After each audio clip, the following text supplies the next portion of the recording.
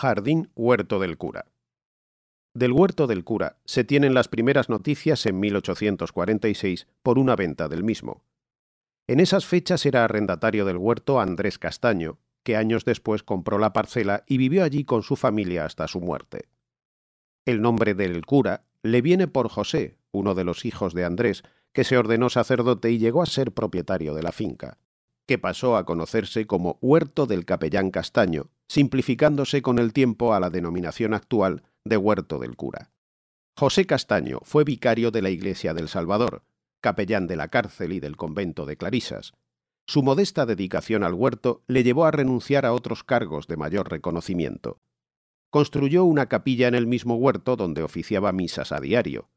Fue él quien inició la costumbre de bautizar las palmeras con el nombre de visitantes ilustres a su casa, e inició los cuidados de la palmera imperial, actualmente un gran ejemplar que en ese tiempo era conocido como el candelabro. La conservación del huerto se debe igualmente a la dedicación de sus futuros propietarios. Juan Orts Miralles fue un próspero industrial propietario de una fábrica de alpargatas y amigo personal de José Castaño. A su muerte, el huerto salió a pública subasta y fue adquirido por el empresario. El primogénito de sus hijos, Juan Orts Román, con una amplia formación humanística y un gran interés y conocimiento sobre la historia de Elche, fue quien transformó el huerto convirtiéndolo en un jardín de recreo. Es su mérito el haber dado a conocer mundialmente el huerto e indirectamente el palmeral y la propia ciudad de Elche. Su tumba se encuentra en una capilla en el propio lugar. La casa era originalmente como la de cualquier otro hortelano, un porche cubierto de palmas sustentado por troncos de palmera a modo de columnas.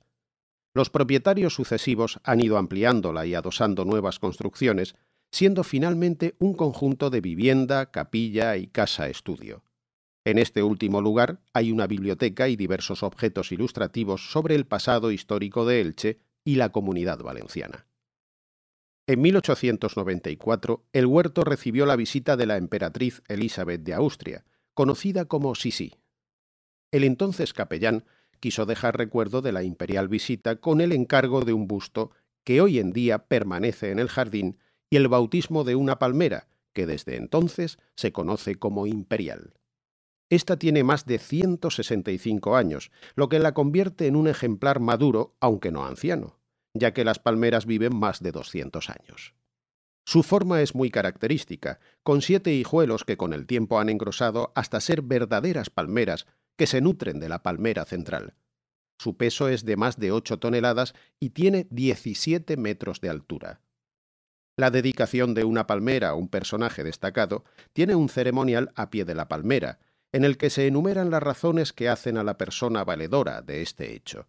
Luego se baña el tronco con vino que abraza el homenajeado y que recibirá los frutos de la palmera hasta su muerte.